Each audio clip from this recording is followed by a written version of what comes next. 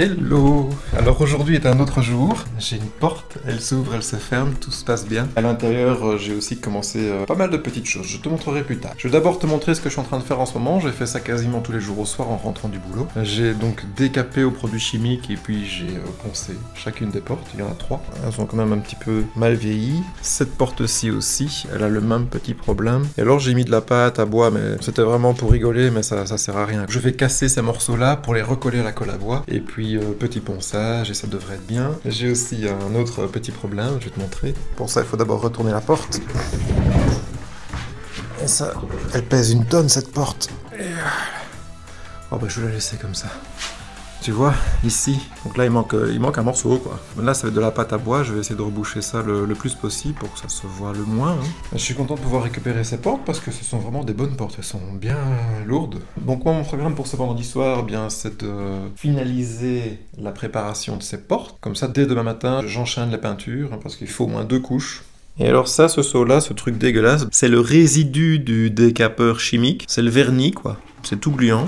Je ne sais pas dans quelle mesure je vais pouvoir récupérer ce seau et cet accessoire. Il aura servi la nation. Et il m'aura bien, bien aidé pour euh, décaper les portes. Tu vois la différence entre la porte là et la porte là T'as vu?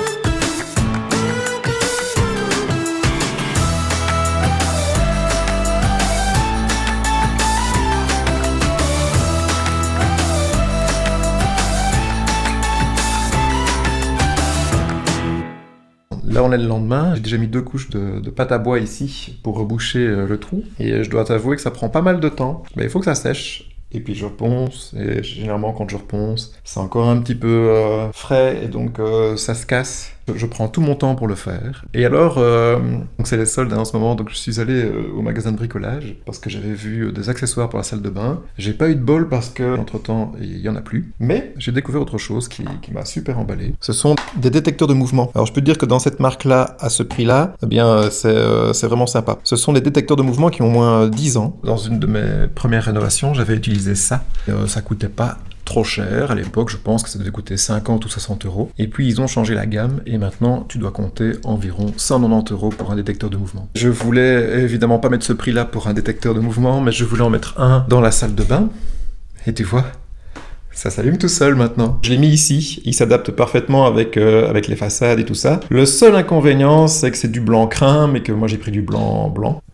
J'ai aussi réparé ma petite boulette au plafond et j'ai déjà installé mes nouveaux luminaires. Ce sont euh, donc des spots, euh, des GU10 en 220 volts que j'ai modifiés en mettant des ampoules 12 volts en G5.3. Tout l'éclairage de salle de bain est en très basse tension, ce qui répond aux exigences du règlement général d'installation électrique. Alors on peut mettre aussi du 220, hein, mais moi personnellement dans une salle de bain je suis pas chaud, je préfère mettre tout en très basse tension. J'ai acheté un transfo qui est également waterproof, ça je savais pas que ça existait, et il est euh, dans le faux plafond puisque j'ai 30 cm de vide, donc j'ai pu le glisser euh, tranquillou. Et donc voilà. J'en ai profité aussi, j'ai acheté les prises Ethernet et coax parce que je sais pas si je te l'ai déjà dit, mais j'ai principalement mis de l'Ethernet, mais j'ai aussi tiré du coaxial dans certaines pièces. Le coaxial n'est plus vraiment utilisé et aussi ce genre de prise, euh, eh bien ça existe de moins en moins, donc c'est plus difficile à trouver. Et là, elles étaient à 2 euros, donc je me suis fait plaisir. Je me suis découpé ce petit ustensile, c'est un petit accessoire qui va m'être très utile. Euh, je vais te montrer euh, ce que je vais faire avec ça.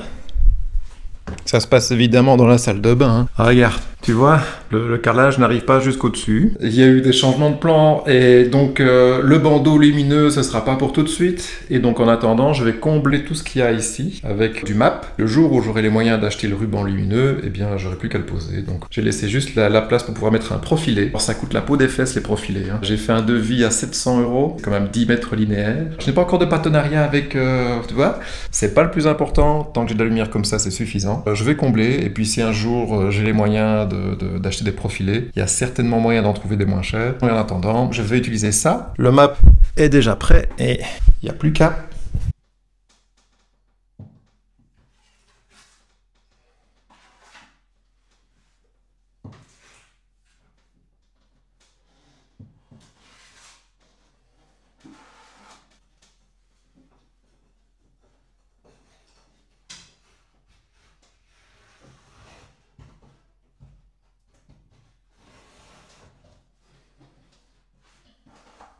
Regarde-moi ça comme c'est bien rattrapé.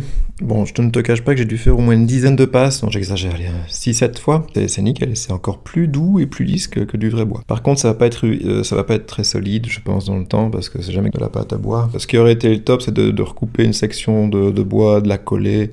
On va voir combien de temps ça va tenir. J'ai racheté euh, de quoi mettre en peinture tout ça. Hein. Merci ce magasin où tout, euh, tout est pas cher. Et tu sais très bien que c'est du one shot, hein. tu vas pas le réutiliser, ton pinceau, hein. tu, vas le jeter.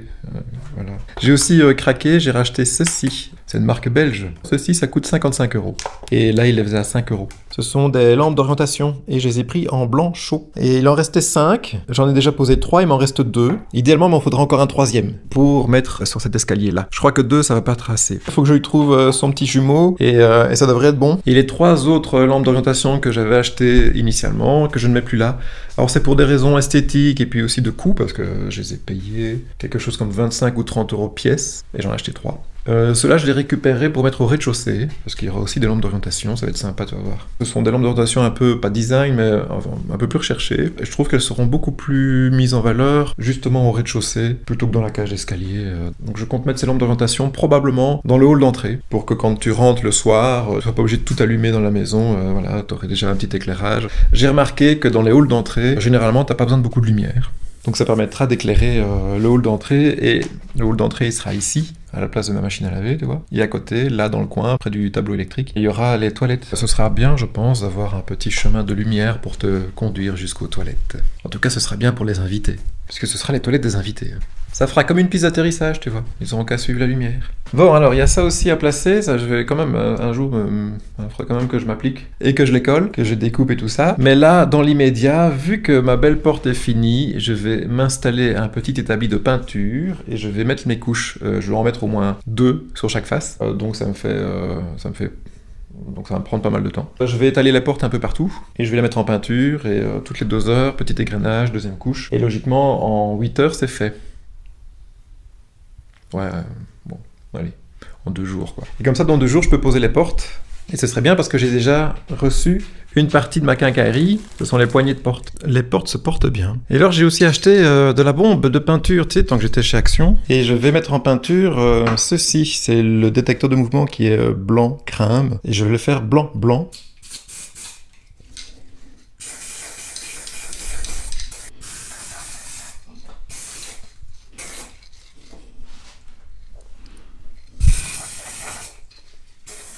On verra dans deux heures, c'est ce que ça dit, hein. J'ai l'impression que j'ai déjà fait une petite gouttelette là. Regarde-moi ça, le trafiquant que je suis. On n'y voit que du feu. C'est vraiment chouette, quoi. Ce n'est plus blanc crème, maintenant c'est blanc. tu vois aucune différence. C'est terrible. Bon ben voilà, hein, problème résolu. C'est un petit détail, mais tous les détails ont leur importance, tu vois. C'est comme pour les lumières ici. En fait, dans ma tête, pour que tu comprennes bien, parce que tu te dis, mais putain, t'as vu la gueule de ton, de ton hall de nuit et tu, tu, me, tu me montres tes petites lumières. Mais le simple fait que ce ne soit plus des fils qui dépassent du mur, mais ça change tout. Alors pour, pour moi qui monte cet escalier 40 euh, fois par jour, ça change ma vie, quoi. Et donc le moindre petit détail d'amélioration, ça améliore ton confort de vie, c'est un truc de fou. Faut pas hésiter à se faire plaisir et, et à faire ces petits trucs qui sont très satisfaisants.